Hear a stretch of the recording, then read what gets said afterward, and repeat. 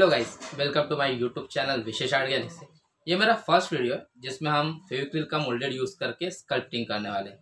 Baby Jesus का sculpture हम बनाने वाले हैं। तो गाइज़ अगर आपको वीडियो पसंद आए तो प्लीज़ लाइक करें शेयर करें और सब्सक्राइब करें। और बेलाइकन दबाना ना भूलें, ताकि हम और भी क्रिएटिव वीडियोज़ आपके लिए लेकर आए। तो गाइज़ ये फेविक्रिल का मोल्डेड है, जो हम यूज़ करने वाले हैं। तो इसमें ये रेजिन होता है और हार्डनर होता है। तो इसको हमको सेम क्वांटिटी में मिक्स करके इसका डो बनाना है और फिर उससे हमें स्कल्पटिंग करना है। तो स्कल्पटिंग के लिए मैंने बेबी जीजस का स्कल्पचर बनाना था, उसके लिए मैं तो ये स्केच को फॉलो करते हुए हम स्कल्पचर बनाने वाले हैं।